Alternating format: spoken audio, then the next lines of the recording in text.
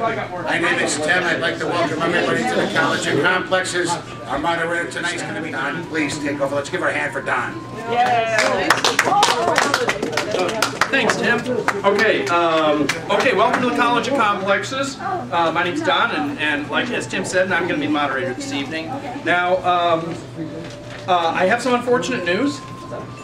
First of all, our our schedule now the presentation scheduled for tonight was I got a dollar. to get it out here. Pay is from. Uh, there's no two. First of all, okay. Um, the, the, the presentation scheduled for tonight was a bipartisan contract for Chicago to solve common problems um, with, with the speaker Kimball Ladine. However, uh, Kimball Ladine could not be here tonight, so uh, instead we're going to have a different program. Uh, our our um, the our program coordinator Charlie. say you had a heart attack? Okay, okay. Uh, he had. A, I did not know that, Charlie, but apparently he had a heart attack. So, um, so instead, our program coordinator, Charlie Paidock, is going to be speaking tonight about the uh, the Green New Deal. Now, uh, now because of this unexpected change in in programming. Uh, we're not going to charge tuition tonight, so except for the meal, it's uh, the college tonight is free.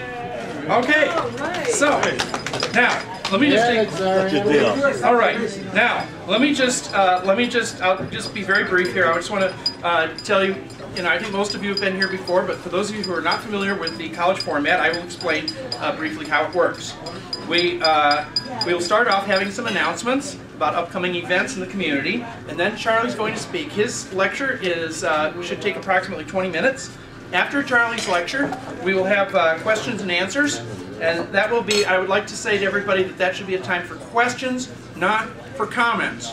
You can, uh, after the Q&A session, we will have our infamous rebuttal period, for which the college is justly famous. During that time, anyone here in the audience can come up to the podium and have five minutes to make as big a fool out of themselves as they want.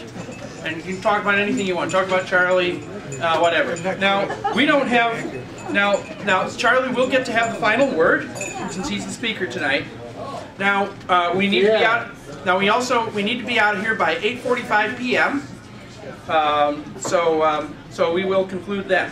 Now we don't have a whole lot of rules. We the, we do have two rules. The first rule is one fool at a time. So the person's interrupting the the speaker, or the, the person speaking, yeah, like that. Yeah. Char- We'll be reminded of the rule. Everybody, repeat after me: one fool at a time. That's right. Now, se- second rule we have is no personal attacks. No, oh. now that's a serious rule, folks, because we've almost had fights break out here at the college because of personal attacks. That's that's serious business. All right, now, but I'm sure none of you would want to attack Charlie anyway.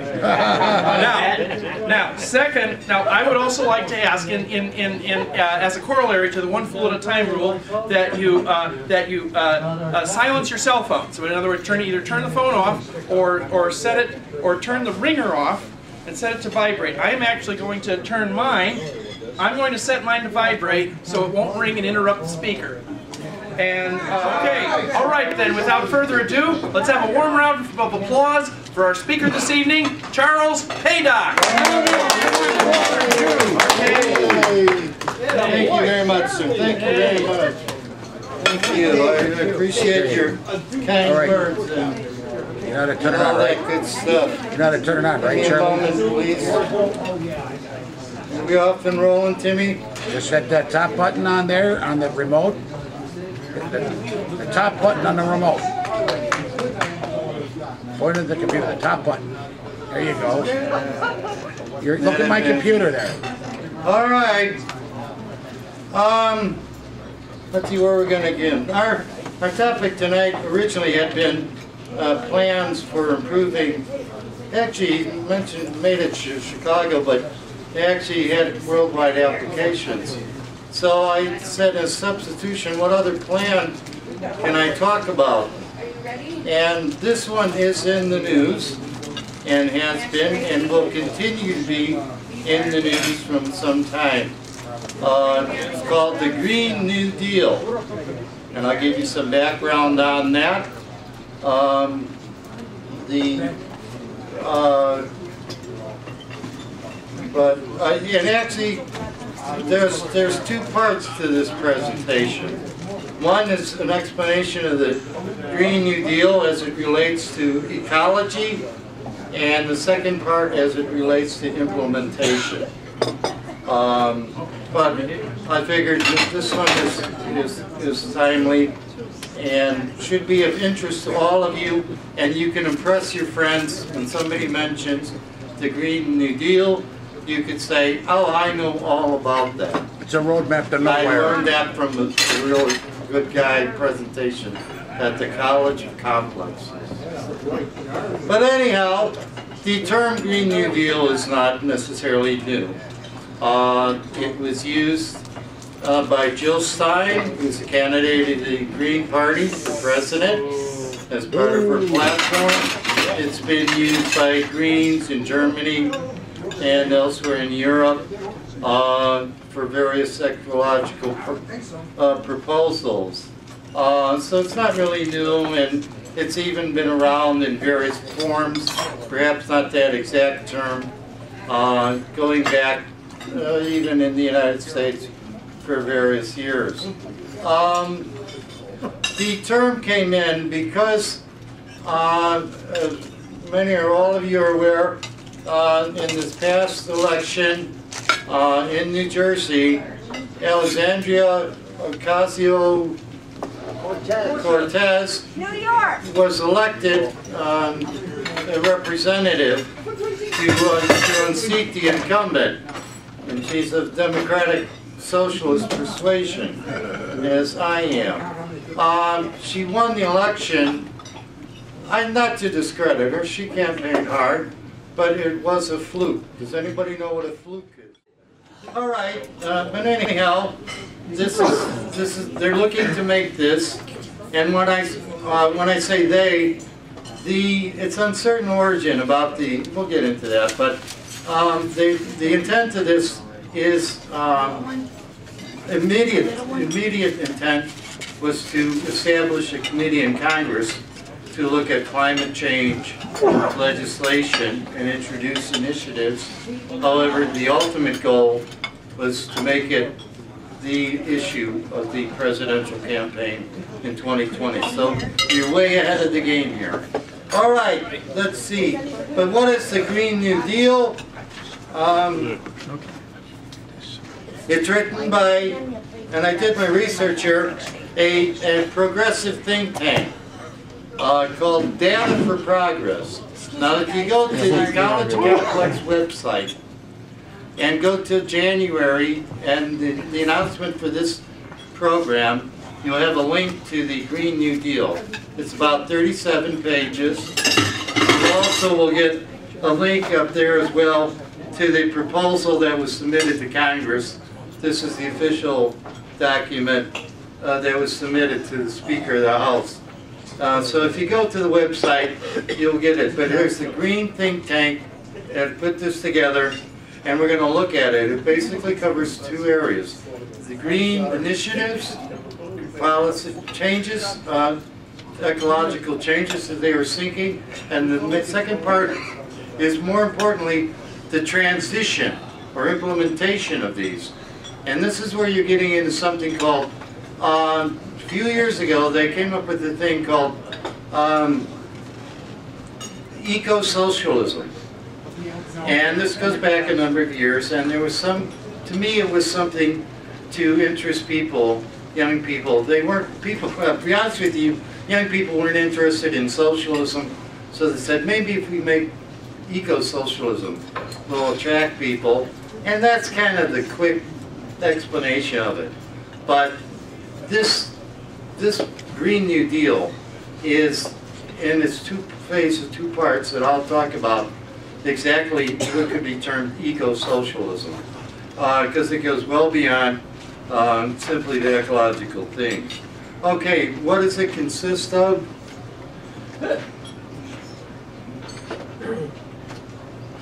All right, um, they have different lists, but I'll read these to you, you don't have to look it all in.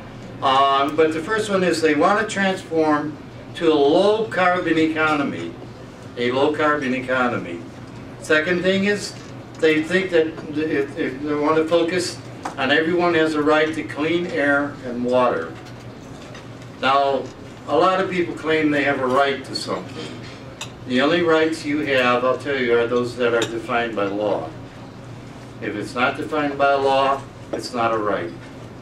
So, but if they get to this legislation passed, it will in fact be a right.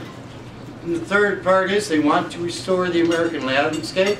We'll get into that. They want to look at that 40 million acres of land. The uh, fourth part is uh, sustainability of urban environment. And one thing that isn't covered too much, we'll cover this later, uh, resilience to climate change. Looking at some of you, I think you guys, climate change, this is not discussed too often, but the- well, climate change is going to have different impacts on different groups and different locations, obviously. So they call it resilient. Are you guys and gals resilient? I don't know. Now, this is where I mean about implementation, the social, socialism. Uh, they put a generation to work, and they want to ensure a just transition. Now, one of the things that has happened is the Republican Party has mercilessly jumped on Alexandria Ocasio-Cortez, who's as green as can be, as somehow the spokesperson for the entire Democratic Party. And they're using her and unfairly Is Tim I sitting mean, there? she's, she's a rookie. And they're, that's what I mean, they're using her, and they're, and they're using this Green New Deal strictly uh, to discredit the Democrats in the US Congress and ultimately the Democratic candidate for, for president. So anything you get on this, this social media, especially this, you know, uh, even that one senator who was saying like, why is this young lady in the news so much? There is some excitement among the social democrats. They got somebody elected, they're kind of in the organization and getting their people elected. There's another thing, there was a group called the Justice Democrats, and they weren't able to get anybody elected. That's just part of this uh, in there. But, um, um, yeah, but uh, that's what I mean. It isn't just that, it, it's the Republicans are feeding this, and they're using it. And they'll do anything to discredit her as a representative, and in essence, they're discrediting the Democrats and their, whoever their candidate is for president. So keep that in mind. All right, where did the Green New Deal come? Another thing, the Green Green Deal actually came out of the, I believe, the Climate Action Network. It's been around for many, many years out of Washington. Um, let's see what else. They were they were gathering. You might have seen this on the news. They had protests in Washington. 51 of them were arrested in the congressional office. This is a this is a hallway in the in the U.S. Congress uh, office building. I recognize it, but they took their message to Congress. I don't know if I would have protested a Democrat. I thought they should have picking on the Republicans, but anyhow. Next is some more photos. Now, this is the logo they have chosen. It comes out of, they call themselves the Sunrise Movement. They look neither left nor right, but towards the sunrise, they're central or whatever. Oh, I don't know. This is, do, uh, whatever. But anyhow, there you can see, um, actually, that's, that struck me as odd. That's the only office in Congress that has a chandelier. I may not have that one, but they had protests in Washington. They just had some yesterday. Okay.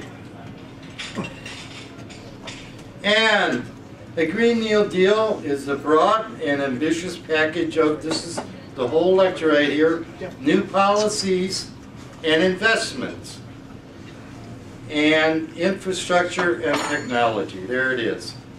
So it's like, let's take a look at our policies and ultimately to help the United States achieve economic sustainability and economic stability. You all want economic stability, right?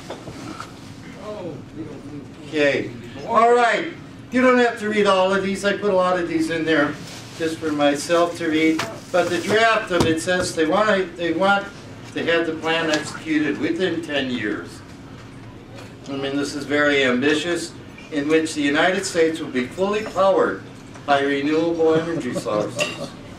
And on, a- and they call it, the entire nation will be on an energy efficient smart grid within 10 years. So, um, anyhow, uh, they want to upgrade every residential and resi- industrial building across the country for state-of-the-art energy efficiency and decarbonizing. This is basically called green, green building technology. It's been around for a number of years. I to put out a publication on this uh, a few years ago um, on green building technology. Architects get certification in it. Uh, it- Transportation and buildings are the major two uses of energy and pollution, and sources of pollution. Uh, So uh, we also often hear about energy production or other things, but buildings themselves, uh, the heating and cooling of buildings and transportation are the two that vie, uh, account for the vast majority of the issues regarding the causes of climate change that we hear about. Um, Another thing I just want to talk about that's kind of interesting about the Green New Deal is down here, we'll get into this later, is they, they offer plans, they want to draw down, draw down greenhouse gases. And that means capture them, it's like cleaning the atmosphere, basically. So, you don't see that too often. I was surprised to see that in there. All right, any questions thus far, children? No. Um, are you finished with your lecture, Charlie? No. No. Okay. Let's wait till the end of the session, Charlie. Yeah, Finish. All right, you want me to wait? Yeah. Hello. Um, I have a question. Okay. We'll Does take anybody one. have a question? Yeah, go ahead. Um, when you talk about drawing down CO2, there's no technique that works. Well, Plant more trees. that's a Well- tree. Well, it's a tree, yeah, but, uh, you gotta do better than that if you're gonna get enough of it out of the atmosphere to reverse what's going on. What are you saying, Andy? Uh, there's a global movement toward reforestation and it's called restorative agriculture. All right, we'll continue that. We've got more slides on that. Okay, we've got ones coming up. We can re- revisit that issue. I see I've got some knowledgeable people here. All right, what else we at now? Um, let's, the bottom line is, we are facing challenges that are unsustainable. We have to do something. There's no choice left in this. Now, we've had some fragmentary regulation and legislation, beginning with the establishment of things such as the EPA. They come and they go and so forth. But these, this piecemeal approach to the problem of, of climate change is no longer sufficient. Um, and uh, the climate crisis is only worsening. Okay, so let's go on here. All right, and we need to shift to a sustainable, two aspects we need. This is what I mean, the game we plan's kind of cool. They want to have a sustainable environment and an economy. They want to transform the U.S. economy. That's what I was talking about. There's socialistic elements in this plan which you don't normally see in some of the other things written about ecological issues. So this one has a, you know, uh, another element to it. And now the, the common thing you're going to hear from the, the Republican Party, and I saw this watching all the legislation that when they were in the House voting on environmental amendments, and they keep claiming this, and if you buy into this or not, but there's a trade-off between the environment or the economy. And, and these guys say that's a false, that's not true. There's a trade-off, like if you have, oh, this is gonna, we need jobs. Container? Yeah, and the greenies are gonna take our job. and implement regulations and close down the factories, what have you. It, uh, This is the mantra of one political party. Um, I don't know if they can continue saying that. Um, But uh, the, the goal of the Green New Deal is, is to, as a matter of fact, rather not harm, harm employment, but to enhance it. All right, moving on. Where are we at here? Now, these are the four central elements of the Green New Deal. And it's not just renewable energy or jobs program. It's a transition, they claim, to the new economy. That's what I mean. This has got a little more horizon to it, so to speak, in scope. This is broad scope, there's narrow scope, this is very broad scope. They want to trans, as we've covered already, a low carbon economy, no problem for that. Clean, clean air and water, restore the American land, the landscape, and as we covered before, urban sustainability and resilience. You guys are right, moving on. Okay. Um, Tran, now getting into, we're gonna go into detail. And the, these, that's what I mean, there's two parts. I'm gonna go through the green part first, and then we're gonna get into the economic part, the transition or implementation later. Uh, first is, okay, they want, a- we want a low carbon economy. Uh, we've got to reduce emissions by sixteen percent to, to, to make the Paris Accord agreements. And seventy percent to reach the target of seventy percent, we've got to cut down to reach the target of twenty fifty. Um, that's why you've got groups like thirty fifty out there, things like that. But, uh, in order, in order to meet the target goals, we've got to do something about it, and at the moment, we're doing, what do you think we're doing to meet the target goals? Nothing. Zero. Doing absolutely nothing. Okay. Uh, Another part of it, the second part, is they're looking for clean and renewable energy by 2035. Can we get it? Um, By using uh, other means. Now, this is a little thing I caught, Tim, in their literature, and there seems to be a contradiction here, that if you look carefully in there, they're willing to accept nuclear. Good. Good. I noticed that, but on other parts of their thing, they claim that they're not, so they need to do some editing here. And anyhow, the clean by 2035, uh, and zero emissions by 2050. 2050, no more fossil fuels, absolutely. I think that's being a little generous. I wouldn't give them that long. Okay, the other thing I mentioned, moving on, very quickly, uh, 100% net zero building energy standards. Uh, We, we build buildings for, that stand and operate for 100 years. Uh, But these buildings are not in line. Actually, the major thing about buildings is the lack of standardization. So much that could be done, retrofitting in, in the original construction, building codes and things like that. Um, But anyhow, we're using outdated technology, and we're building buildings in a medieval fashion in many respects. Okay, that's green building. Uh, you see, we got a transportation guy there in the back who keeps looking at his uh, telephone instead of paying attention to me. Um, But transportation uh, is another thing I mentioned. We want zero emission passenger vehicles by 2030. Um, That's self-explanatory. And fossil-free transportation by 2050. In aviation, uh, heavy-duty and rail. Um, Okay. Now, there's one little flaw here, and they do acknowledge this here. Much to their credit here is that they're saying perhaps there's difficulty here, is that not everything can be electrified. I don't know. That's a debatable topic that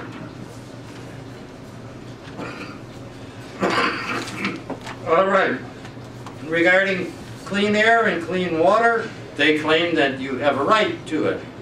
Uh, as I said, the only rights you have are those that are, that are written and codified in, in the law, in the statute. You don't make up rights, but they claim you have a right to clean air and water. Perhaps by virtue of citizenship, there is some validity to that. Uh, failure to provide quality, actually, I think it should be. But, um, progress is slow, uh, and now it's even been reversed in this regard, regarding the reverse legislation under the Trump administration. Next one, clean air. Forty-two percent of the US population live in areas that don't meet the standards. There's a lot of people, uh, the ambient air quality standards. They have substandard air. Particulates are still too high. And 27 states, 22 states do not meet the ozone standards. So in terms of climate, people like think, oh, we've got to get to climate change to to get those goals. We're not even reaching minimum standards.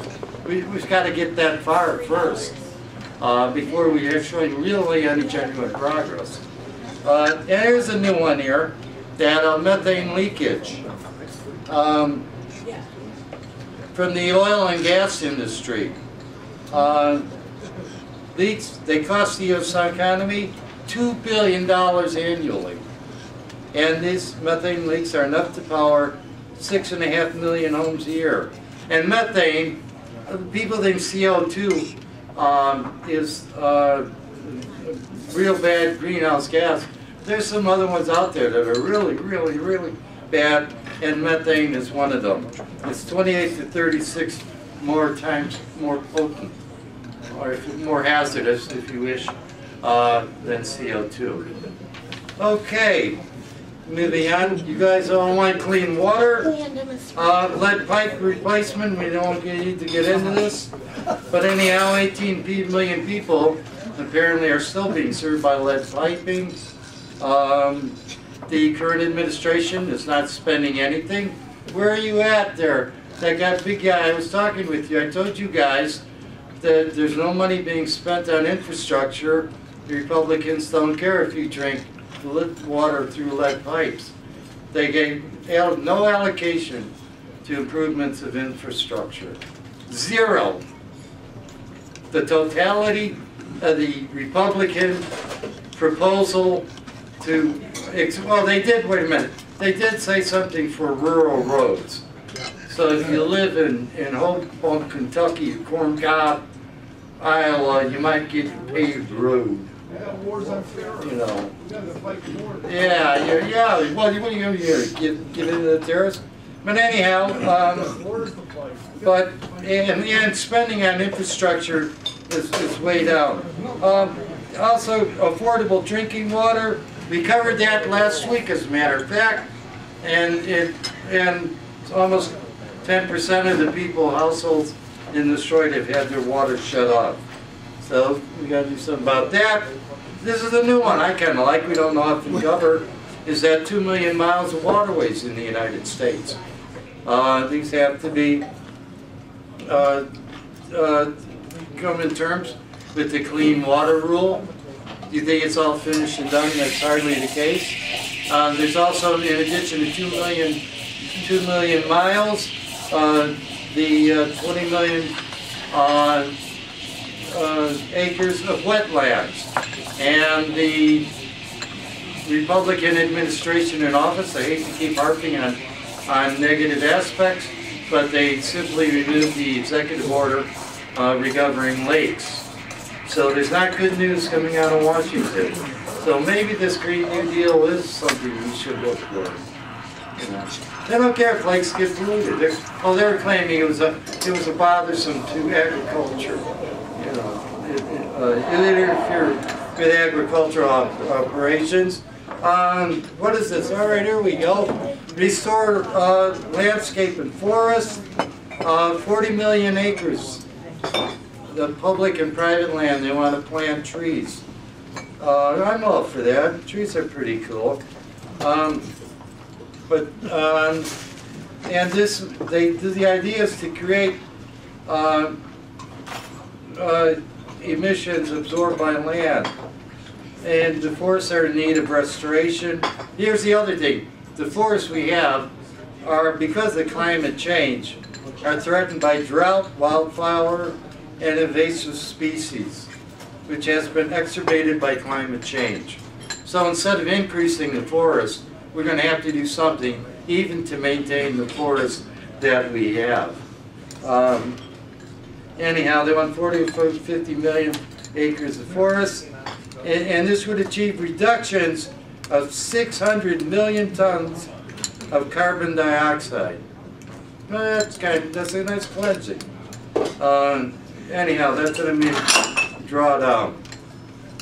Where else we go in here? And another topic that isn't often covered in ecological things are wetlands.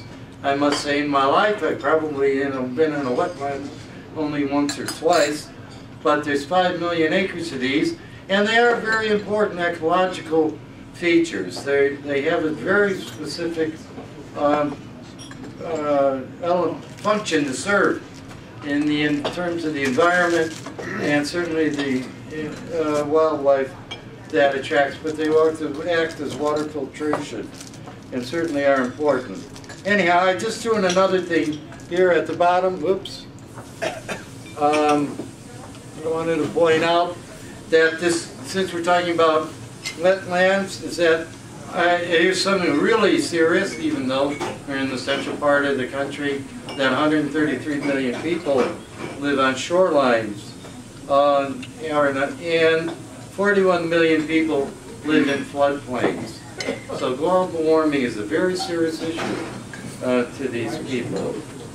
Um, Let's see, uh, moving along real quick. Uh, urban, now this one's kind of interesting. This one I kind of find, uh, I didn't read much about this, but urban sustainability, um, people moving to the cities, uh, has to be dealt with differently. Uh, the other thing is, yeah, um, is, is sustainability and resilience. Um,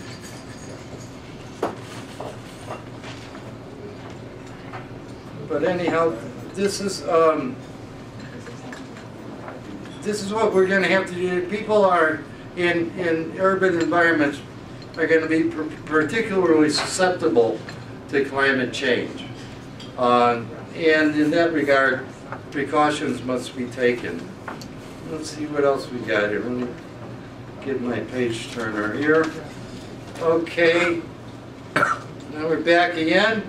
Uh, another feature that they want to do is expand public green space. More parks and outdoor recreation, enhance the beauty of the environment.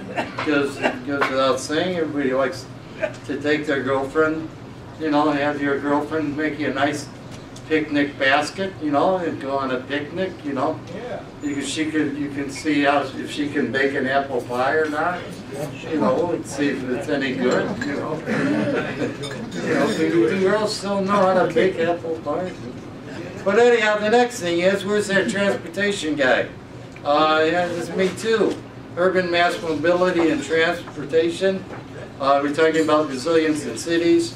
Uh, certainly augmenting, there's only six major transit systems in the United States, and we certainly need more than that of any magnitude. Waste. This is the thing, that's what I mean. Look at this, I've been talking all along, and it's only now, normally in ecological, you think of Kiko, you think of waste, and it was only now that we got to it. But the one thing you have to keep, I summarize the whole thing right here for you there in the first slide. Waste is just a resource without a market. So There's no, no market for it. But you've got to get at the beginning, design products to minimize waste. Uh, you know, I was thinking these things that, that plastic that they are using these days, you can't even cut into it. My God, what is that stuff? It's indestructible. I'm serious. I can't open some of the packages, like buy, buy some batteries. I I couldn't open it. I go, you know, I, I mean, what is that? What are they making it out of? But anyhow, a zero waste economy. Uh, again, more on methane there. Uh, there's the vegans maintain that eating meat is the single best solution to climate change and to reduce the methane in livestock, which is some matter of some issue here. All right, now we're getting it into the uh, implementation, almost done. Only got two or three left here. But there's a lot written here, you don't have to read it all. But Ocasio-Cortez plan imagines, certain things I put in here that are kind of interesting. She wants a nationwide job force to, to participate in the transition to the, all we've heard this already. So this is where we get, we get the, in the economic aspects of this. Always the question is, you go to lobby in Congress, they say, well, who's gonna pay for it? And these people have thought ahead, and this is what they're thinking of in the transition. Now, um, uh, they actually even claim that everyone as a result of implementing this program uh, will be assured a living wage if you want one. And they also claim, I didn't read it here, but they also claim that this transition will eliminate um, poverty in the United States um, through this program here. Um, but anyhow, the last part is, um, they also think if you could focus the intent of the programs on minority communities. Um, okay. Let's see what else, is the next one, a little bit further. Um, they also even think that social equality might be realized through the use of reparations for historical injustices. Now, that may be a rather controversial one. Um, and they also want to have universal income and Medicare for all. Now, this is where the Republicans are really seizing on this. They're saying this is nothing but so- implementing socialism. But there's wide-ranging in her plans here. Um, But we're talking about the people doing the implementation and, and the active participants. Okay? One other thing I came across uh, that might be kind of interesting as an achievable goal are environmental justice standards. I found this kind of interesting. What are the basic standards that we should have achieved regarding ecological issues and policy?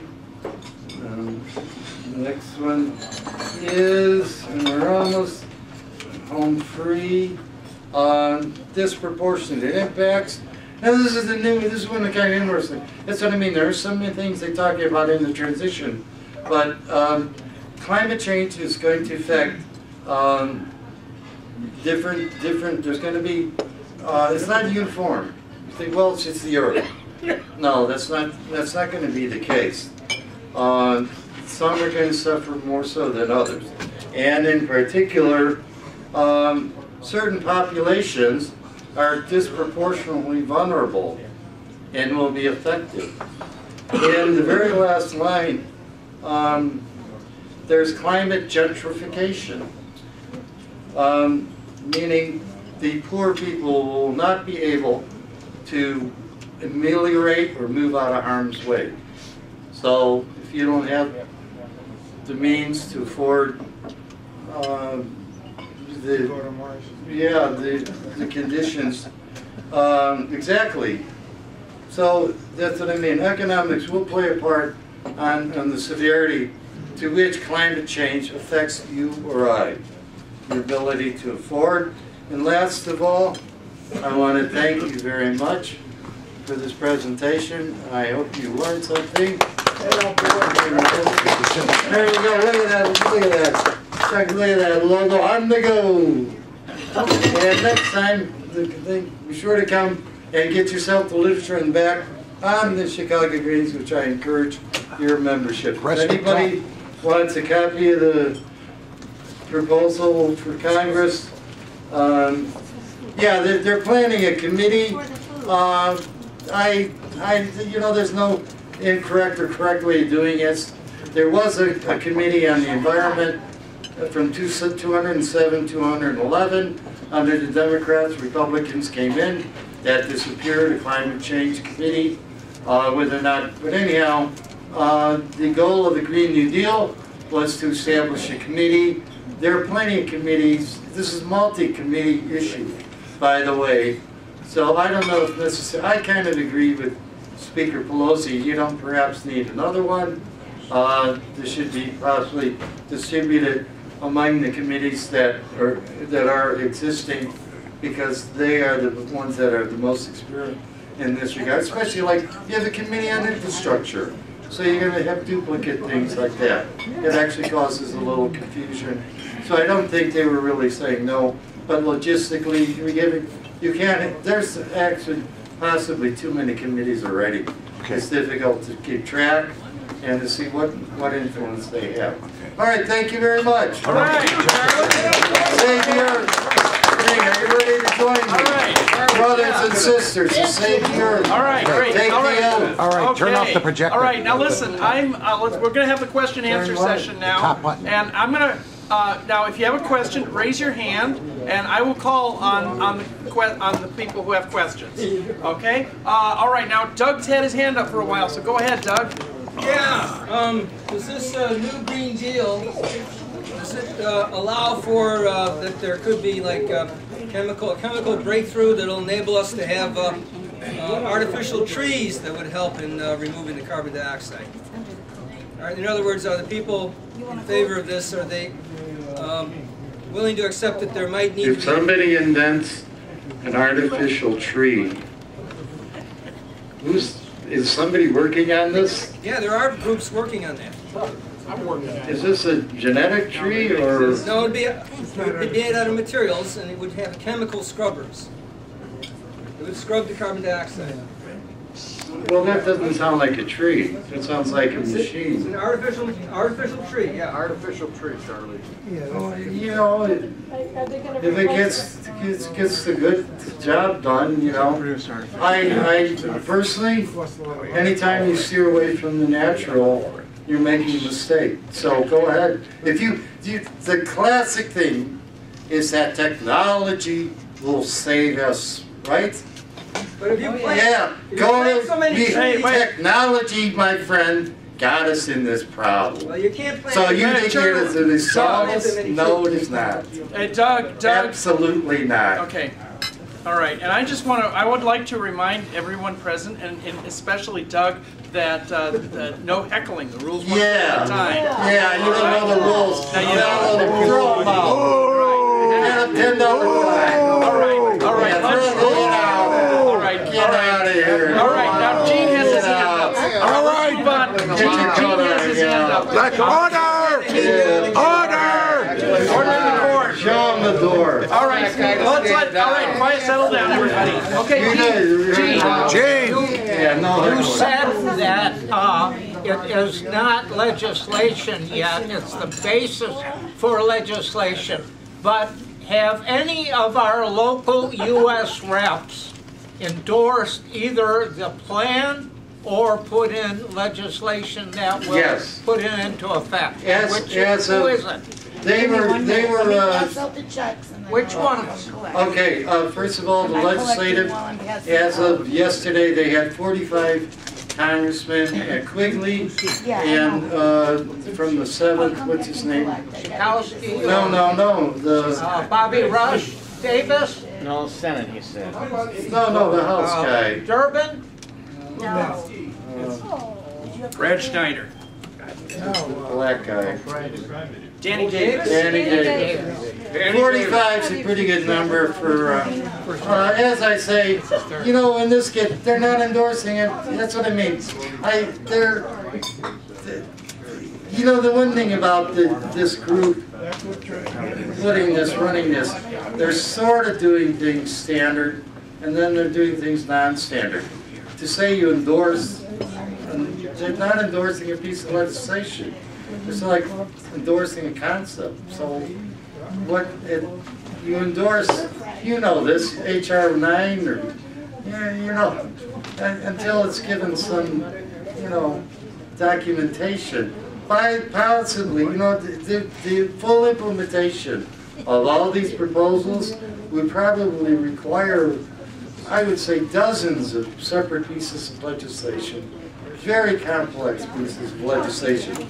The totality of what they wrote is about five pages here. And tha- that's not a- the economic, you're gonna change the economy of the United States on the basis, you know, there's, so there's, so, so every journey begins with a thousand, one step. So we're at the incipient stage. Yeah, right now, yeah, are you, if you want, um, the thing that I showed you, the very second slide, that thirty-seven page thing, that's entire, that entire document is, is written by somebody who knows what they're doing. Because one-third of it contains information of why the elected representative would support a Green New Deal. It gives them, it gives polls, polling data and demographics. And it says this, not only is this a good thing, but it's probably good for you if you want to get reelected. So it's a selling book, It- it's advertising. All right, Yeah. Mike, you have a question? Yeah, I got a question for Charlie. All right, Two parts. two part, two part. South, So, uh, your buddies Lipinski and Quigley, are they bamboozled by this Elon Musk dude in this silly tunnel stuff? And what, what other plans? I'm, I'm, wait a minute, slow down, slow down. Oh, you mean, are they, well, there's been nothing in Congress regarding the Musk, you mean his, his design for a new transportation mode? Yeah, There's nothing been, that I'm aware of, Mike, that has been introduced in Congress. that's great, that's great. So, What, so what have they done, uh, Quigley and Lipinski? It sound like they're the only infrastructure people. what have they done Yeah. Regarding Infrastructure? Well, Quigley is not on the infrastructure committee that I'm aware of. Uh, Lipinski is, and uh, he's, basically, his interest is in the railroad industry. Freight trains? Whatever, freight, passenger, and railroad. Railroad. They don't have any tangible plan? I honestly, I'm not, That's your congressman, you know. I, I get this, well, the thing is, I subscribe to the newsletter from that committee. And the committee puts out what their activities are. And I, they're pretty, they're not really good at putting anything out. I'll be honest with you. And they put out some, a new press release literally once every three or four months. Sounds like you need to sit down with them. Okay. I see them every year when I go in. You see Lipinski? Yeah, All right. he says, hi, Charles. Huh? He says, hi, Charles. That's all he says. All right. What's he uh, Okay, my, supposed to say? question. What's he supposed to say? All right. My second question. Get out of here. Here's your check. Hit it, Charles. I see that, what I'm saying is, I see him so often. I know him and his chief of staff and other people on the staff, and I regularly communicate with them Okay, my second part. on an ongoing basis on sundry issues. Okay. Okay, the heck with the sundry. Uh, the the second question is, have you done anything with the New York Chicago bullet train with the Congress? No, we're looking, I, I was thinking about with the new Congress coming in, maybe let's see what we can do. But it's a little early in the game, the committees haven't even been finalized. Okay. They've had months to work on it. All right. They didn't know who was gonna be Listen, elected. I think this make a great topic for a rebuttal speech, Mike. And listen, Ellen, Ellen Corley had her hand up for a question. So you have a question, don't you, Yes, Ellen? uh-huh. Okay, go ahead. All right. Yeah. I- My concern, and I speak to this, would be whether, it- you know, I look at this Green New Deal online, and the first, it's by the new, Re- the National Review, you know, William Buckley's magazine. says, You know, she has a plan, you know, it brings on seventy percent increase in taxes for the rich, the super rich. What I've read, and I do think it might be a concern, is that these kind of propaganda memes are developed by the right wing and as a way of whipping boy, you know, Ocasio on her first day. The, the two articles that have been put in by the right-wing media is, you know, that, that other Beto, whatever his name is in Texas, and Ocasio want to raise taxes. There, the truth is socialism would not necessarily raise taxes, but What's they, your you know, we need an question? economic. What's your question? What? What's your question? She's So not that I would like him to out of order. comment. Out of Is it- order. Do you think it's the propaganda? I earlier I said they're gonna use her. And she's is. green, she's Mr. Smith, comes to Washington. Uh-huh. And they're gonna take full advantage of They're that. And they're going to, bait. they, Okay. they're gonna, she is going to. Next question, Don. Taxes. All right. They're not, they oh. don't care. Bullshit. Okay, now I would, uh, all right, Tim, did you have a question? Yes, uh, I've heard a similar proposition thoroughly debunked by the Thorium Energy Alliance at a presentation two years ago. Uh, From the estimates of what it would take to, uh, you know, thoroughly go renewables would be the equivalent of the size of the state of Nevada filled with wind turbines. How are you going to pay for something that big, and how are you going to be environmentally footprint when you're going to require that much land to go renewable? As a matter of fact, their draft proposal, and, and, and the section of it, goes into some detail as to estimating the cost All of what you're saying. Right. Now, I don't know, since you have no exact cost, no, wait, wait, this is be- you accepted what they told you. Yes, I No one has any precise figures on this. Okay. The legislation hasn't been developed, but you guys are so qualified, you were able to refute figures which are purely subjective, hypothetical. That's pretty amazing. You guys are gifted. You can refute figures which are not precise, which are hypothetical. I to know if they have a precise figure of implementing it, this is what they're doing, you're suggesting. Okay. They, they do talk about this. Good. They do say as much as a trillion dollars. So I don't know how you can refute it. But you haven't seen their plan. And you couldn't have seen their plan two years ago. That was a Could you- different, it was a different, So- pla- it was a different type of a, The fact of the matter is, we don't have any choice. And among the choices, this is no longer, the- this is it. This is, this is, this, this is put forth by the, the next gen group, or among the the founders of this. Right. The millennials. And they're saying, this is it. We are not listening to thorium guys who want to pursue their own little technology, like Edmund is mechanical tree, Charlie, you're dead wrong you on know, that and you're gonna show up, Hey, you Tim, know. Tim, this would make a great topic I know, for a I rebuttal know, speech. Don. You can, Yeah. you can, you can explain to all of Yeah, us how I- Charlie is wrong af- the- afterwards. Okay. The one thing I would only, you know, All right. you know, to any, as I wrote you in, I wrote him an email I know he yesterday. did. There's no community in the United States, would you want an experimental nuclear reactor in your town? Now, let's, we're gonna try this out, let's see if it works. All right. Are you gonna be home when they turn it on? There's a test facility. Hey, let's turn it on and see if, hey, let's see if this thing works. Hey, wow. What about the Nevada test range? Whoa. You also you also have, uh, Let me on know when up in you turn it Washington, where they were experimenting before. What town would want an experimental nuclear reactor? Well, you're, you're, you're built? All right, now, is you're wrong because you had the test range. all right, listen, Tim, Tim, I know you're enjoying having an argument with, with Charlie, but, uh, we, we've got other right, people I'll who have shut up. questions. Yeah. So yeah, we're gonna have so to sit move down. on. Yeah, Now, follow um, the rules. Nobody follows the rules. All right, all right. Now, first of now, is there anybody who has a question who has not already asked a question? Uh, okay, Doug, you already had a question, and uh, all right, I have a question. All right. Okay, I want to ask you, Charlie, why do you say climate change instead of global warming? I don't know, it's, I don't know, just, Okay. no, no preference, one and not the same. Uh, yeah. Well, uh, okay. All right. I'm not gonna. I'm not gonna. I'll, I'll Because climate change is a little more, uh, general and Uh-huh. inclusive, and Uh-huh. global warming is only one facet. Uh, If you want the technical answer, yeah, I've read that.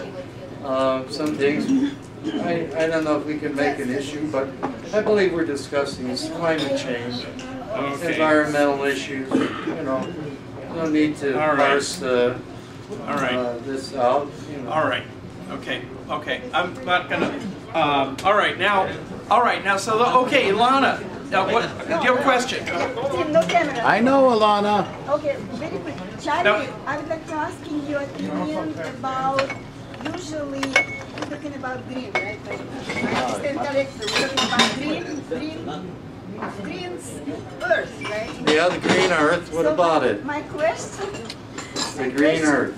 Yeah, my question is, what do you think oxygen usually, uh, you know, those flowers and leaves and trees and branches, they give more oxygen to the air. Yes. Your opinion, what do you think? Is oxygen the same like it was five, ten years ago? Or it's like a little bit less or, or it's the same? Oxygen doesn't change by the year. Yes, it does. It it does? Yeah, she's right, it does. The pollution. chemistry, oh, oxygen itself, elements don't No, but the, change. the, the- the atmosphere does because change. The atmosphere does, but oxygen Okay. doesn't change. Fair enough, oxygen is oxygen. Oxygen is, is- you can't change elements. Pollution, much pollution. The amount of oxygen changes varies obviously, yes, but oxygen itself is, is an element that is unchangeable. So atmosphere is fine. You can't change an element. Yes, you can? You can? What do you think? No. Well, that's, that's on the fringe of the. All right, all right, Come on. No, no, no, I don't know what, I'm sorry, I no, no, you can, question. okay, all right, let's, let's, for all right, incoherence. all right, now let's, let's move on. Now, is there anybody else who has a question, who has not? A by the way, coherent Rick- question. Rick, uh, listen, Rick, excuse me, Stupid question. Coherent Too question. much pollution. okay, Rick Leaving Stuckey, her hands. he can't hear me. Rick? Rick? One fool at a time. Yeah, I also wanted to remind you that the rule is one fool at a time. Now, uh, so, uh, now, uh, I want to just ask, is there anybody who has a question who has not already asked a question? No? Okay. move to They all We can, oh, me. sir. Yeah, questions on methane gas. Okay. Yeah, I'm not an, It, escapes into the atmosphere, so that's causing the damage. Can't we just capture it and burn it? Wouldn't that be safer? Well, he, the, I indicated that it, that gas could be used to, Get you next. used in six hundred million homes. And they're, they're, that's the two facets. Escaping, it's a, it's a, obviously, it's more hazardous than the other greenhouse gases. And two, yes, it should be, you know, but I'm not a petrochemical engineer, and I'm not qualified to really speak on those issues. But apparently, they do, it, it's not in their marketing. I don't know why they're not marketing it or whatever. But as I say, I'm not in the industry, so All right. Uh, ma'am. they don't really care. Sorry. Oh, They sorry, Charlie. care. All right, She's ready to rebuttal. all right, let's get to Okay, all right. Who's a good So, so person? is there anybody else who has a question, who has not already asked a question? No? Going once? Okay, well, hold up, hold up. Uh, I, I had another question, Charlie, if I may. Um, what, I noticed, I noticed in your presentation that there was something listed called renewable natural gas. Can you tell, can, can you tell me what that is, please? Methane. It's the methane gas. No, no, let Charlie answer, let Charlie answer. I, at the moment, I can't, I. Okay, that's I okay. That's, that. that's okay. That's okay. I, I know I'm just it asking. is. I just Um, asking. I just I never heard of that before, and I was just just wondering what I, I, that it is. escapes me at the moment, but I do know what Okay, you're okay. talking about. All right. Yeah, um, All right. Uh, okay. Any other questions? Now we go into a round two of questions. If everybody's already had No, let question. Don, we should get into rebuttals Okay, right well, away. Tim is, all right, our videographer is recommending that we get into rebuttals. Uh, close to the Listen, thing. before we, before we Oh, I do think- though, I think you're talking about gas you produce in, in, uh, yeah, you, you, like, uh, Yeah, you can produce gas. Are you talking about like, like methane maybe uh, from landfills? Natural, natural gas that's flammable. Okay, like, like, like, like methane Like produced from making landfills, for example? All right, Okay, all right. let's yeah. get into I'm rebuttal a stuff. Okay, There's all There's right. gonna be a now lot of let's- people wanting to talk All tonight. right, now let's get into the rebuttal period. Uh, let's have another warm round of applause right, for our let's go speaker, learn something. Charlie. I enjoyed it. They were a good crowd, with the exception of the All right. which I hope they would. Underneath the rebuttals. Okay, Yeah, all right, Now let's, out. have- how many people, how many people would like to give a rebuttal speech? Everybody who wants to give a How many of rebuttal, raise your hand. Right, everybody, let's get them hands up, y'all. Okay, that's one, two, three, four, keep them hands up. Okay, one, two, three, four, five, six, seven, eight. Doug, are you, did you have your hand up? Okay, I say nine, uh, ten, including Charlie. Any hands up way at the back? Go with No? about four Okay. minutes. Okay, it's uh, 11, 12. Okay, I'd say 20 minutes. No, just No, not four 20. minutes, Don. Four minutes. Okay, so it's going to be four minutes each. Um, and this this this young lady is first. Okay, go Keep ahead, it strict control on time, please. Who's keeping time? Uh, four Andy, minutes. keep it Uh, who's time. keep? Hey, hey, Tim, are you keeping time? Uh, Have you got a beeper? let me, let- I, I, You want me to keep time? I'll keep I time. would, prefer- I would prefer you do. Okay, I'll do it. Um, you know, I could almost talk four minutes about methane. Um, I went to a, a program at the University of Chicago, and uh, Professor Ingraffea was there, and he gave an hour's talk about methane. Methane is 30 times more global warming per molecule than CO2, but it also degrades within about 30 years, whereas CO2 lasts basically forever. Went off. Did I do that? Yeah, you may have, Well, anyway, um, so, uh, he showed us a, a slide where it showed New York City and the amount of methane that is leaked out of pipes underneath the ground in New York City. It's a tremendous amount. It leaks all the time. So you can take the amount that's leaking out of pipes going underneath the city, and then you can take the amount that leaks out of pipes going into people's houses. And then you can go down by Whiting, Indiana, and you can see the uh, BP uh, refinery down there with huge methane flames that are coming out that are way up in the sky, and they look like they're probably about 10 feet long. You could go to any fracking site and see the methane that is escaping, and it is bur being burned. Uh, so there's a lot that's escaping from the ground, but there's a lot that's being burned, which adds a new type of pollution to the air. Methane is really a menace. Plus, it's bubbling out of the uh, um, tundra, and when the tundra begins to melt, there's methane uh, bubbles underneath the tundra, and when the methane, or when the tundra begins to melt, those bubbles come to the surface, and there's methane being uh, released into the atmosphere all the time from the far north. So, you know, methane is a huge issue because, uh, because it is a very dangerous gas as far as global warming goes, and uh, it, it, it's, it's something that could push us over the edge as far as global warming goes. And it's not a trivial amount at all. Uh, and the, the professor that did this was Professor Ingraffea. I think he's at, uh, I, I think he's at the University of Illinois, but I'm not sure. And then, um, I just wanted to say that nuclear waste is not a resource. And then the second thing I wanted to say is, or one third thing, uh, Illinois devoted $2.5 billion to bailing out failing businesses that call themselves nuclear power plants. Yeah. And this, Yeah. this was partly to save jobs that were, uh, uh, I mean, the threat at, at Nuclear Energy Information Service were calling this nuclear terrorism, uh, that they were gonna lose all these jobs, and the amount of money was one point five million dollars per job saved. And nobody asked the workers whether they'd rather have the one point five million or their jobs, but, um, the, all that money went to the stockholders. So, you know, this is a tremendous racket and it's coming right out of your pocket. Um, And I also wanted to in- uh, invite you to go the- to the Nuclear Energy Information Service website, neis.org, because one of our major issues is just transitions. Um, Zion lost 45% of its tax base when the nuclear power plant left, and there was no just transition for the people who live in Zion, etc. I think I'm done.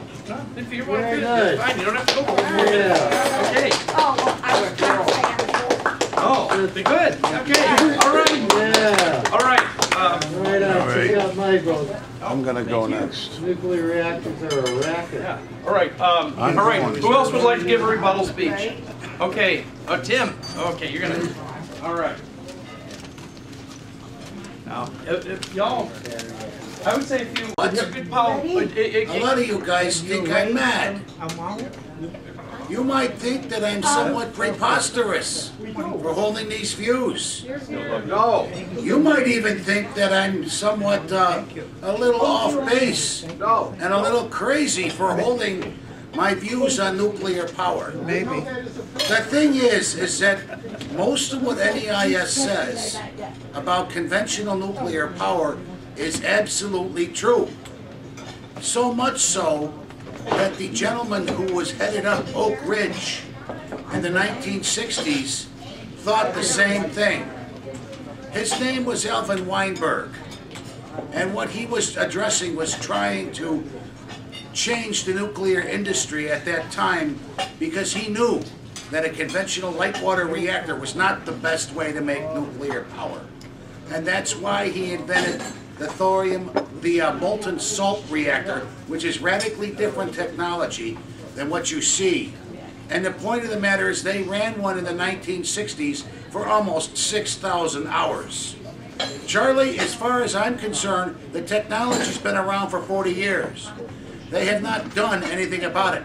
What they have invested in is something called the fast breeder reactor, which has taken billions of dollars and has been a big boondoggle to the things. The problem is, is that we just don't have the right kind of nuclear power that can help with the planet. Yes, I agree climate change is real. Yes, I agree in a lot of the conservation initiatives. I agree with a lot of the uh, emphasis on like renewables, getting a smart grid and all that. As a matter of fact, one of your best sources for that is is um, a gentleman by the name of Thomas Friedman, columnist from the New York Times, who wrote a book, So Why We Need a Green Revolution. It was the book he wrote before uh, his current one. I'm trying to remember it. The world is flat. No, it was after the world is flat. Um, he uh, wrote it around 2000, I think, 11 or 12, and goes into all these topics about the smart grid, the electric cars, and all that. But my thing is, is that the other thing we're going to have to contend with is the other parts of the world wanting to develop.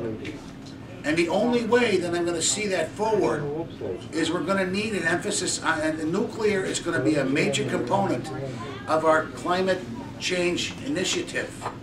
And what I'm simply going to say is this. I would not have put down taking time off work to attend four Thorium Energy Alliance conferences unless I really thought that this was a solution to the problem. And I don't go preaching this lightly, you know. You know, there is waste with uh, nuclear power, but the thing is, a lot of that long-term waste, supposedly, all you gotta do is recycle it. These react, these new types of reactors can recycle that waste. Get rid of the long-term actinides, get rid of the long-term things, make new medical isotopes and do a, a wonder. We'd still have to sequester some of it for 400 years, but we could, you know, we could definitely do that. Even with, uh, the thing is, what has happened since Germany's closed its plants, their coal emissions have gone way up, and their power is a lot more expensive than it used to be. So, if you think that I'm a little mad, go check out the plans at the Thorium Energy Alliance. Google, Google uh, thorium power. Look for videos by the name of Thomas McDowell.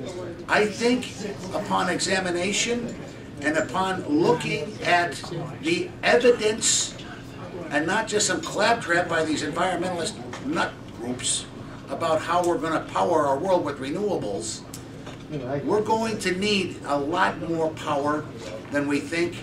It's a lot easier to replace a central plant right now than it is to uh, rewire the entire grid. Anyway, I am out of time. Thank you, Don. Okay.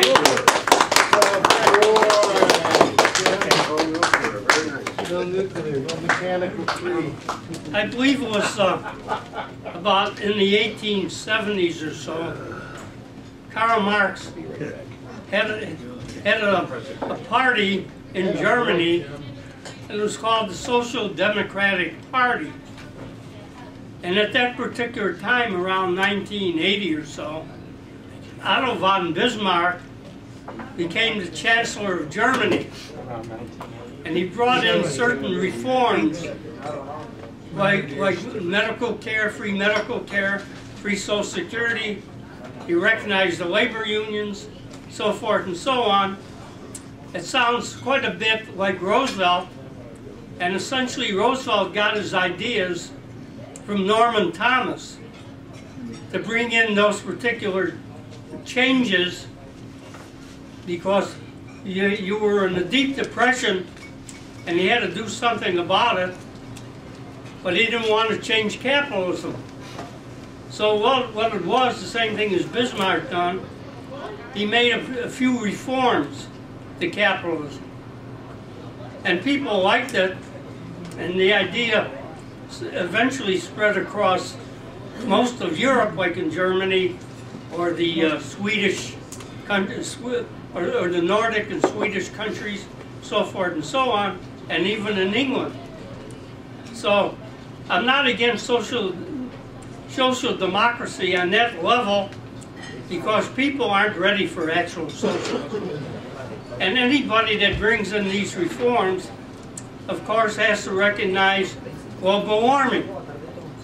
So if these social democrats bring in something to curb social warming, and if it's not done in any other way, because, uh, like I said, people are not ready for socialism. I don't think they'll be ready for a while. But what I see right now, we might go into a very deep depression. And that deep depression won't allow people to use fossil fuels any longer to any certain degree because they won't have enough money to drive their cars and, and fly in airplanes and things of that nature. So they might, they might do, that might do the trick, but at the same time, it'll be misery for most of the people in the United States. So I don't, I don't, I wouldn't like that to happen, but you can't depend on that. You gotta see what's gonna happen with this coming depression.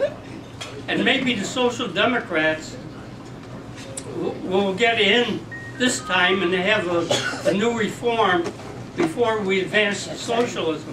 So any way it could be done would be progressive. Any way we could do away with social warming, with uh, global warming would be preferable. We don't have to wait for socialism. If we could do it the other way. And people are getting educated, I think, to a large degree now because of what happened during the uh, run for president by Bernie Sanders. So people are accepting the word socialism like they never accepted before. And there are certain parties that are growing very rapidly in that direction. So any way we could do it, we should get it done because without that, there won't be no future for any life on this planet. Okay.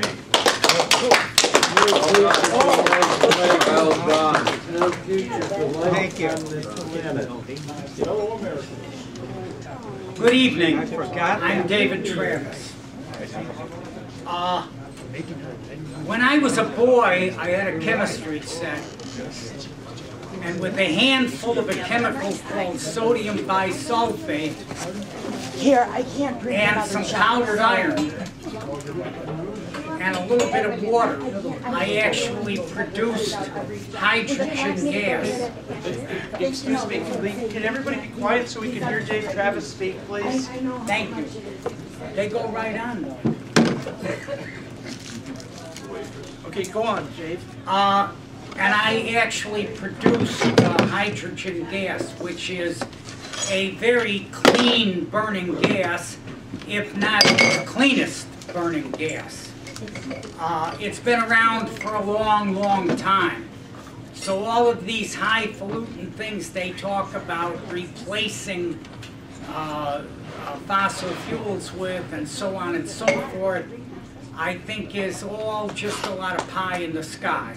And what's more, they go on about uh, with these Garden of Eden type cures for these nightmarish problems that they talk about us having in the future that is all a lot of BS.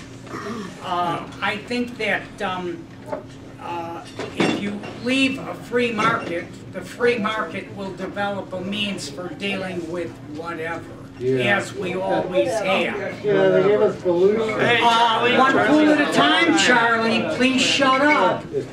Uh, as I was saying, I, okay, do you wanna, do you wanna, um, No, have no, a no, debate with me? While everybody else waits, is that what you want? Dave, just, Dave, Dave, His Royal Highness Socialist wants to do that. Okay.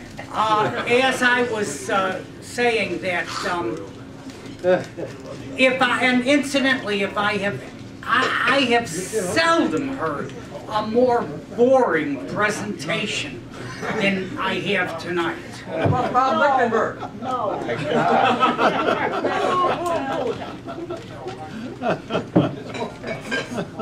Okay. I think that, um, that, uh... I wouldn't come anymore. There, there are a lot of better presentations that could have been made. And this, this one was a, pretty much a stinko presentation. Oh. Thank you. Okay, come on. Don't come back. All right, yeah. Don't come back. Don't come back. Don't come back. Thank you, Kimball Paidock. When you learn nothing. We're at the 11th hour and the 59th minute. Uh, I, I don't know what it was like when Grandpa uh, Foss and Grandpa Henry uh, went off to train to be in the military during World War II. Uh, but that's where we're at. Uh, not to wage war against planet Earth, but to wage peace with planet Earth and within ourselves. Yes, yes, Uh, so, waging peace is not something that uh, the government has groomed us to think is the top priority, but we know better. We don't listen to the government. we, the people, have been practicing this forever. Ever since great grandma and great grandpa, on and on and on, told us uh, there has to be another way, and this is the big step in that overall caravan of there's another way, uh, living in a balance with the biosphere. Uh, windmills are not a new technology, and they have been uh, increasingly advanced to create wind turbines. Uh, solar panels were on the roof of the White House in the 1970s, and they've been made even more uh, cost effective now in the 2010s, almost the 2020s. Public transit uh, has existed in its current form in the United States for over 100 years on a grid system, especially in such a great grid system like Chicagoland area, where you don't have to own a car. I know that's blasphemous to say in the United States of America, especially in the presence of capitalists, so I'll say it again because I love saying it. You don't have to own a car. God, that feels good to say. You can lease one. You rent one. You can rent one. You can borrow one that's owned by another family member, so there's just one car in the driveway instead of 10 tanks. Uh, I don't know. I just love public transit. I like saying Happy New Year to the bus driver when I get on that bus. Yes. And when I get off that train, I like saying Happy New Year to the train operator. It just feels right. Uh, when they start mass producing those Elon Musk Tesla cars that are affordable and fuel efficient, I'll think about getting a van with a wheelchair ramp, so I'll still say you don't have to own a car anyway. Uh, local farm and community gardens at the kibbutz scene uh, provided plenty of food, clothing, housing, educational, healthcare materials for over 70 years ago. Uh, look into it. Uh, it's not out of our capacity to transition to that. Bicycles have been around for a long time.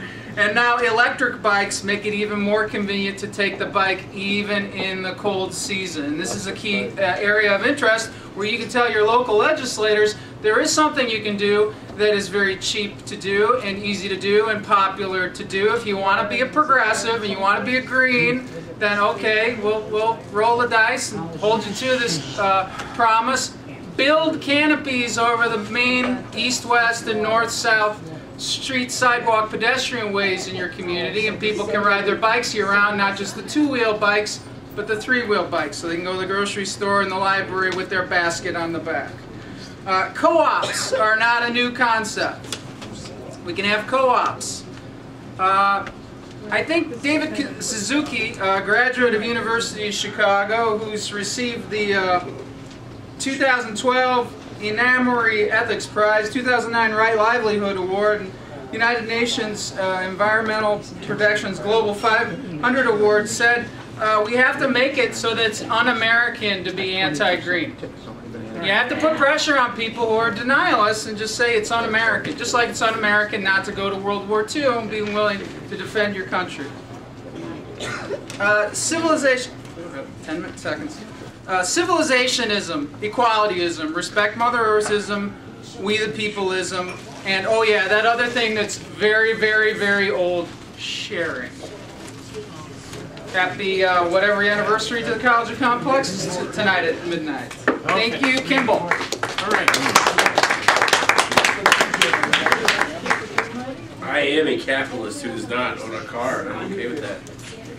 Uh, Alexandria Ocasio-Cortez seems like a nice, well-intentioned young woman, but she's absolutely misguided in her democratic socialism. It is a bullshit ideology. One fool at a time. It disregards history, economics, human nature. Uh, her plan, this Green New Deal, is estimated to cost $2 trillion. Uh, she wants to raise taxes uh, on top earners up to 70% of their income. Yeah. Finally. Humbug. Back to Eisenhower. Give everybody a bailout in the form of abolishing the income tax. Whoa. This will stimulate the economy uh, by people spending uh, more money and saving more money. And maybe people that could then afford green uh, technology and such. Uh, there's actually some solutions that cost zero dollars that we can implement immediately, like actually holding polluters accountable. If they steal clean air or they steal clean water, let's hold them accountable. Let's also sell the national parks to the Sierra Club. Uh, let's and all wildlife refuges, uh, refuges and other protected areas. Let's give it to the Sierra Club. Let them manage it. That sounds a lot better than uh, trashing the parks with the government shutdown. So if, if the government uh, lets the tra you know, if the government's supposed to lead on green energy, how they take care of the parks is an indicator that they probably will not be any good on green energy. Let's also end subsidies in all sectors. That includes energy producers, manufacturers, farmers, uh, everything. Because uh, this will stop artificial demand and it'll save energy. Uh, let's also privatize roads. This way, all the free road, uh, all the you know, getting all the, the you know the roads you don't have to pay to get on. Think of all the pollution. If we're to privatize the roads, people would charge people to use their roads, and therefore people would be less reluctant to use their gas guzzlers. Uh, and just for good measure, let's just abolish the minimum wage. This will, uh, instead of forcing people to be in unions or to have like a guaranteed jobs guarantee, just abolish the minimum wage, and you can provoke people into union membership that way. Thank you. All right. Uh, A glass of water. Let's sell off the libertarians. Come at me, bro. I have I more back. rebuttal uh, material for uh, the rebutters than, than Charles. Actually agree with a lot of the proposals. I think it's the right direction to go. Uh, Just something I want to throw out there is, uh, um,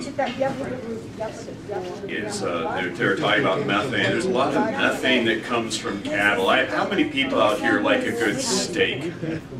Yeah, I, I love I love a good steak. I really do.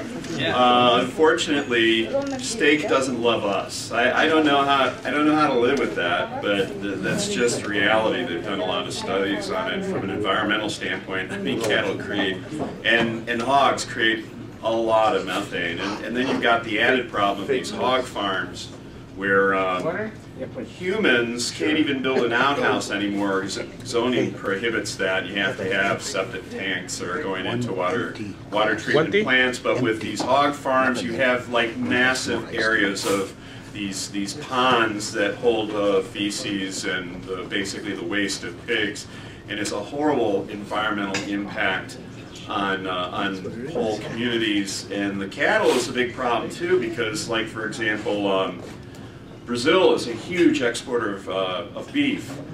And, uh, and where all the cattle farms? They're basically where the rainforests used to be. What they do is they go into the rainforest and they want grazing areas. So they rip down these wonderful old growth trees and let uh, grain um, and then for grass for uh, for grazing cattle, and then the soil isn't really good for grass, so it kind of it stops really being productive, and then they rip down more trees, and the rainforest is getting just smaller and smaller.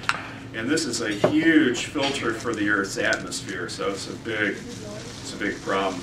But on another note, um, uh, just meat is really bad. It, it's not good for people. There, there are a lot of studies that I read a great book called the China Study. Has anybody seen, read that book? Basically, when you do medical studies in the U.S., they'll they'll study you know groups of people, you know 30 people, 50 people. A long-term study, you might you might get a thousand people. In China, they did this study, and they invited an American doctor to participate and they did a they did basically a study of 500,000 people in China. It's a fascinating book because the premier wanted to know what makes people sick.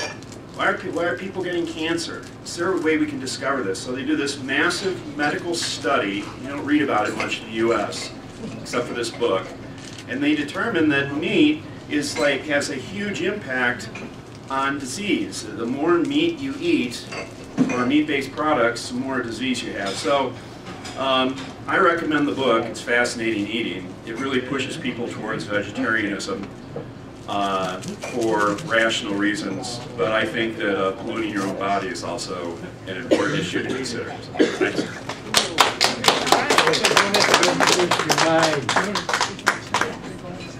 Yeah, well, um, I kind of agree with almost everything in the talk, and I'm very, when I heard about this um, new Green Deal, um, I didn't have time to research it, so I'm glad Charlie brought out uh, what is the official uh, agenda here, and um, I'm on board with it naturally because uh, I'm an environmentalist and a uh, um, and, uh, someone who looks toward um, uh, a kind of a, um, uh, at least a government um, guided uh, uh, role in an economy that is embracing of uh, environmental uh, safety, we could say that, you know, because um, climate change or global warming, whatever you want to call it, is uh, projected to become so dangerous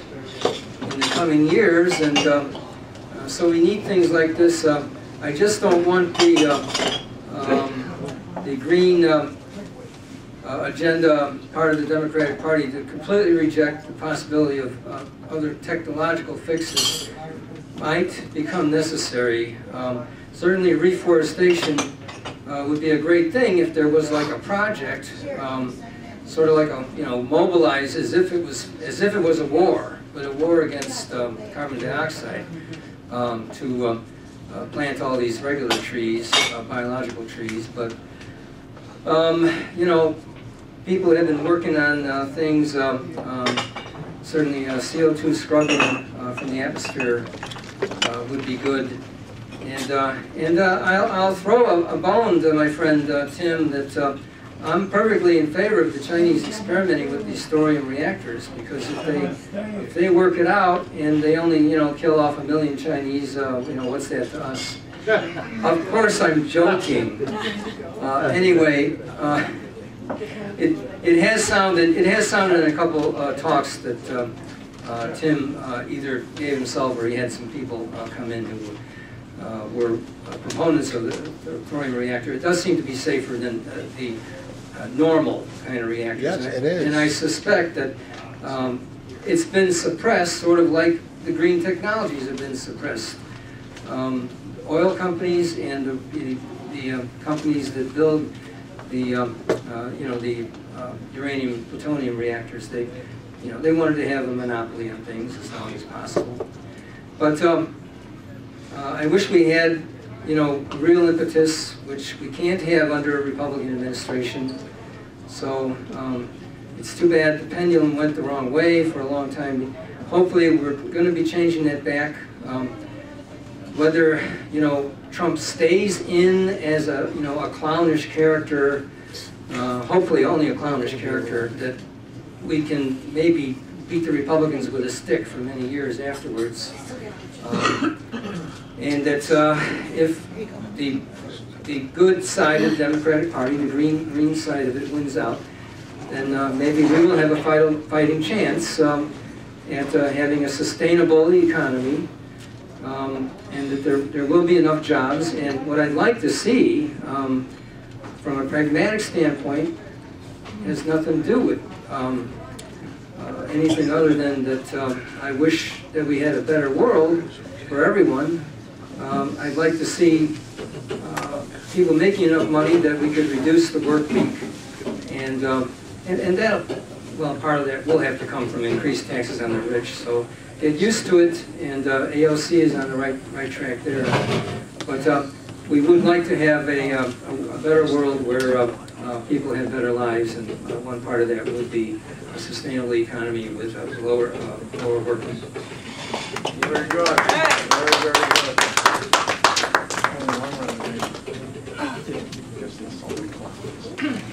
Hi, um, I'm Ellen Corley. Uh, As always, I like to say that I, I love the Free Speech Forum. I think it's very important that we're talking about these things.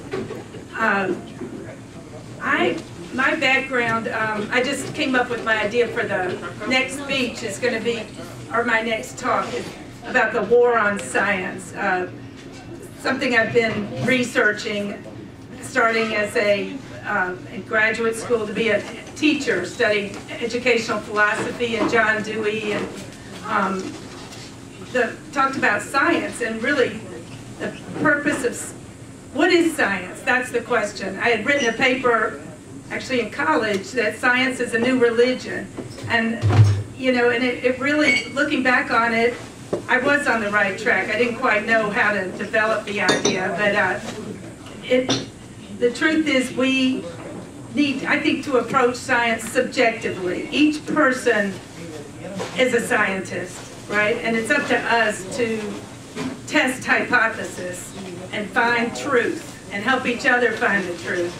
What's really scary is I, what I see as a uh, ideology of deception that has been waged like a war on science. And I've got a good book on this that I'm going to be looking into, but uh, it really is the idea that you know, intelligent design versus, um, you know, Darwin. I mean, this is an old political trick to really shoot the messenger, uh, you know, deny the science.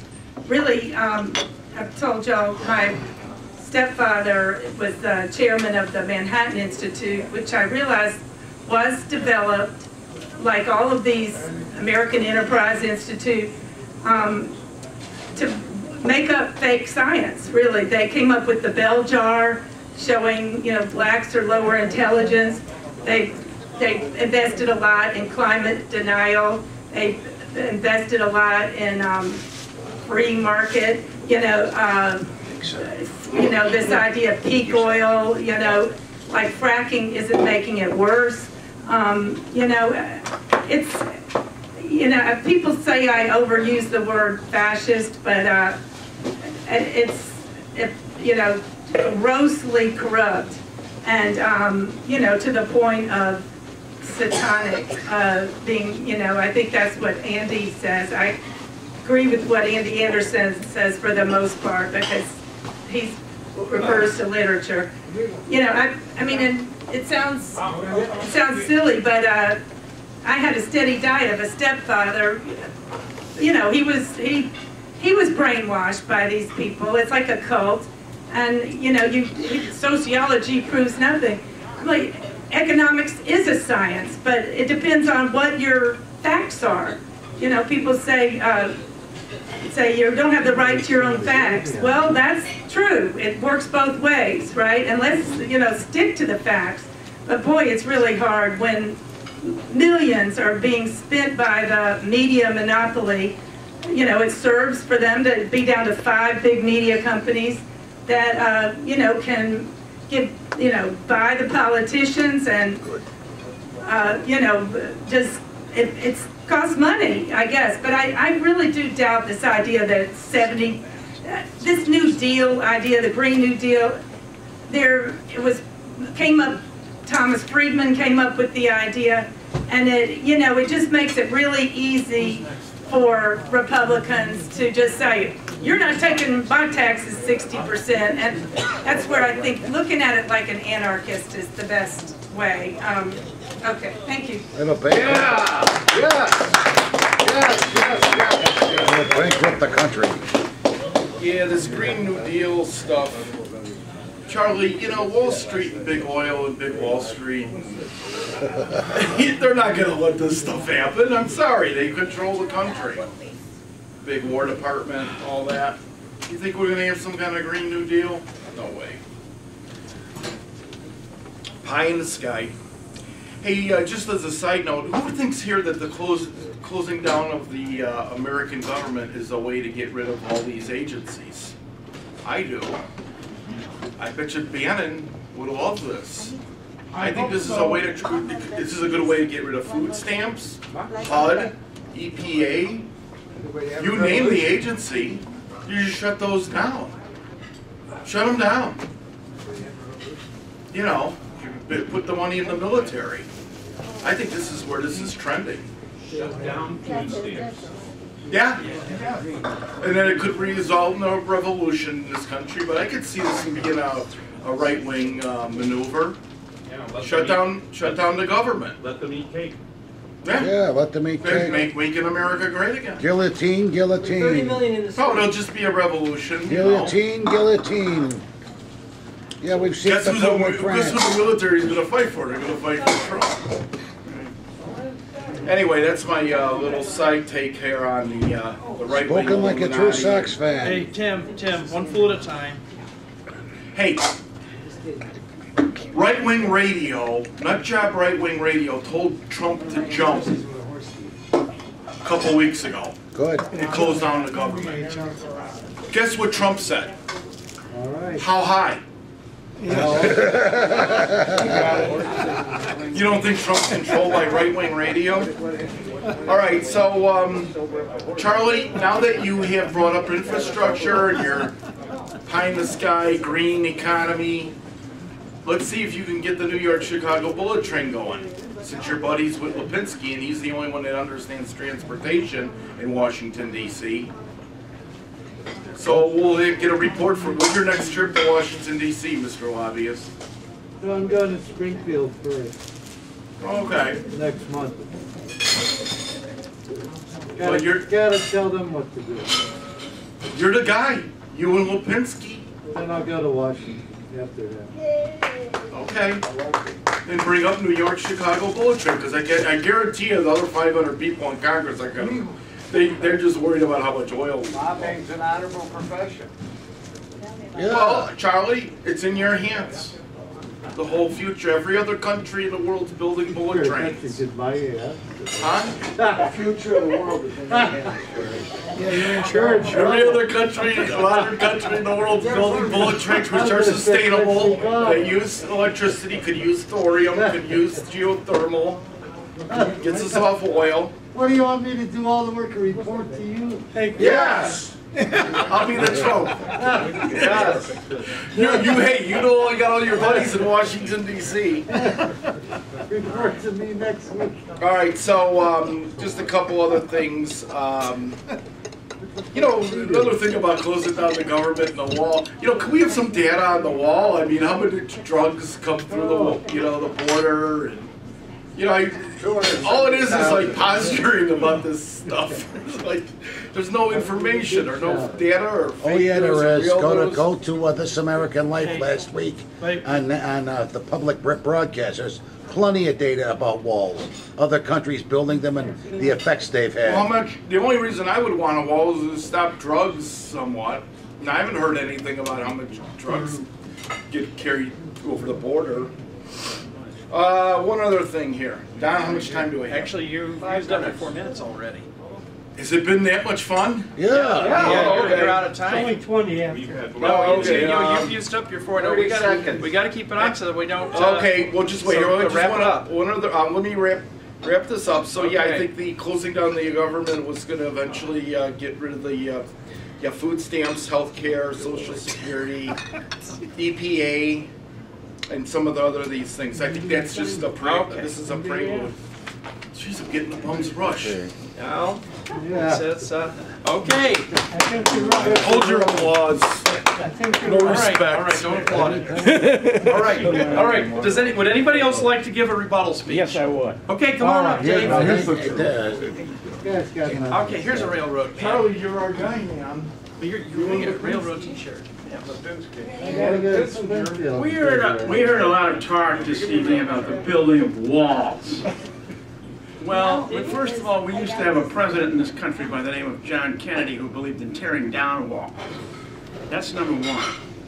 Number two, we also heard some talk about, gee, uh, we have a wall with guard towers and whatnot.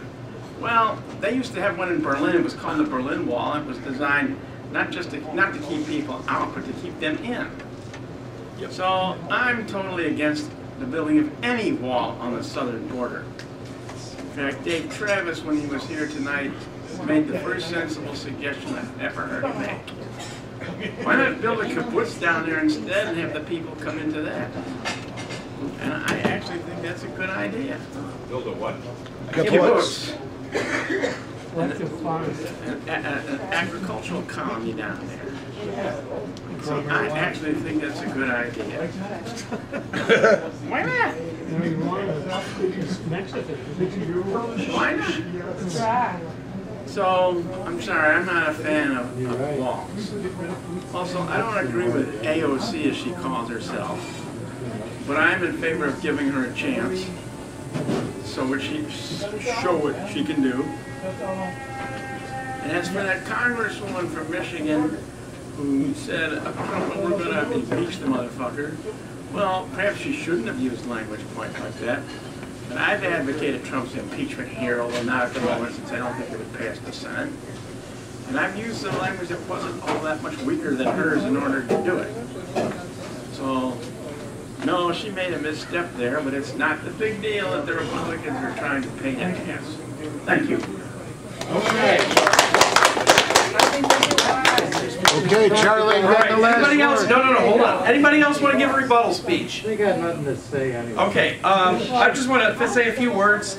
And, Okay, Don. um, all right, first of all, first of all, I would uh, like to thank Charlie for putting together this presentation at the last minute. Uh, and uh, I thought you did a really good job. And uh, very interesting information. It's inspired a lot of discussion here. Now, the second thing I would just like to say is that since we are not, since we are not charging um, a, tuition tonight, um, this. Um, I remember uh, normally a third of the tuition goes to our waitress. that's a shame. And so I would, I would just remember that she works hard for the money, so you better treat her right and tip her generously, because, uh, okay, that's gonna be your contribution to, and so, Now, second, uh, now, now Sid, um, you, you mentioned that um, you, you, s- Bismarck actually was Chancellor of Germany in the 19th century, not in 1980. Yeah, no, I understand. Eighteen, eighteen. Right, right, okay, okay, all right. Now, I want to, um, now I want to talk about, I want to talk about the term global, I want to talk about the term climate change versus global warming, because I asked Charlie about that. Um, I will tell you all where the term climate change came from. It came from a Republican pollster named Frank Luntz. Uh, he specialized in focus groups, and talking to focus groups, he found that the term global warming alarmed people. It scared them. Now, Luntz had been hired by lobbies who work for the oil industry, and they were trying to find a way to reframe the dialogue on, on global warming uh, in, a, uh, in a way that would cause people to deprioritize it. You know?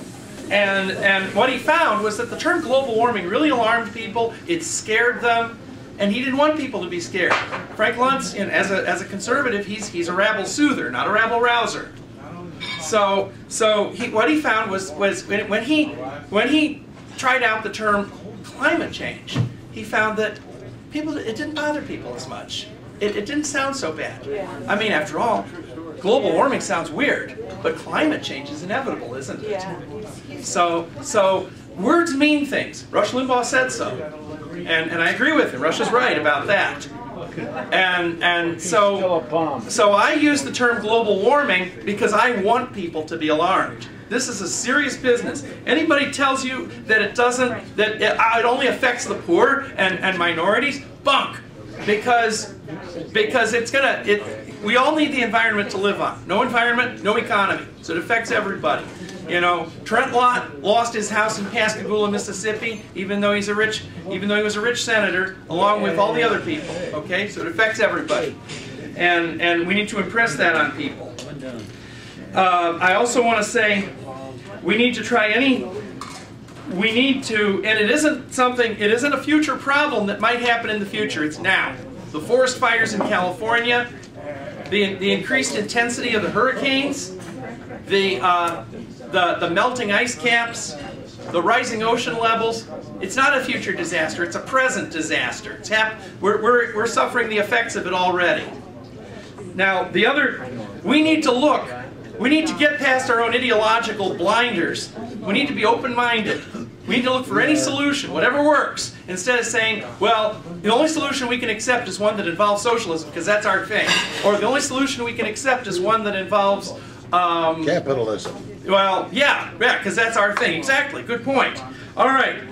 Uh, and you know, if if we can't produce, if we can't produce enough energy to, to meet our needs with renewables, I'm willing to, you know, I would I would be willing to have nuclear energy as a supplement to that. I would consider that if we can do it safely. Now. Um, now, I do think that talking about socialism and trying to equate that with with with environmentalism is a, is not a good idea when you're talking to non-socialists because because to, to people who are not socialists, socialism sounds very negative. It's going to turn people off. Well, they're Um, you know, for those of you who are interested in this issue, what I would recommend is you write to your congressman, write write to your senators about it. Get involved. Another thing you can do is join the Sierra Club. I'm a me- uh, Rick Stuckey isn't here now. He went home, but he was here tonight. He's a member of the Sierra Club Air and Energy Committee, and so am I. Um, I would, uh, you know, get involved. Look, look things up on the internet. With that, I will. Um, I think I've run over time, so I'm gonna. I'll yield the microphone to Charlie now. All right, Charlie. All right. All right. Well, well, well. Thank you all for coming out on a frosty night, and I hope I wasn't too tedious in explaining this. To me, it is a little interesting that we've seen many proposals on what to do in, in, ecologically. But this one proposal is to not only implement ecological solutions, but to do it through the process of socialism, which is interesting to me at least, you know. Uh, we, we don't think, the key to the term is the transition.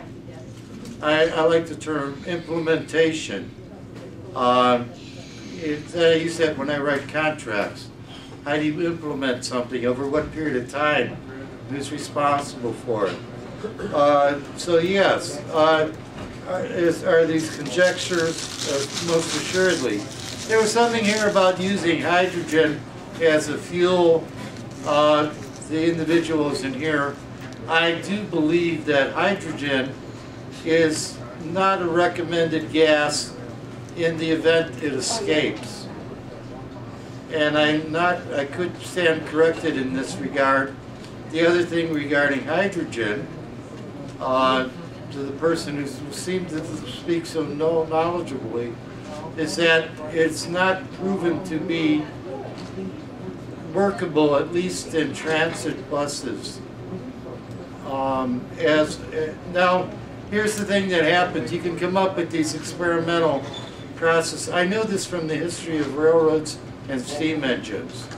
There were there were literally thousands of experiments with steam engines, getting them to operate in all sorts of different fashions, using all sorts of different fuels. The only thing is that running them on in in in in in the in the laboratory they function perfectly, but in the polluted world and uh, out there with it, it's it's a difficult environment in which to operate a vehicle, and most of these failed in that regard. They could not remain operational, and I think that's the situation with buses. Now I subscribe because I'm in the transit group to three trade publications regarding buses, and I must admit to you publicly that I've not looked, looked at one issue in several years. I have a stack of them, but it's just not a topic. I, you know, the buses and stuff. but anyhow, um, anyhow, it was a lot of fun. I hope you enjoyed it. Please come back and happy anniversary. Gavel us out. Dismiss us, gavel us out. Get out. out of here, get out of here. Get back where you came from. Well, this concludes, all right, well, this concludes our program for tonight. So, uh, thank you and good night. How old is the college? How old is the college? 68 years old.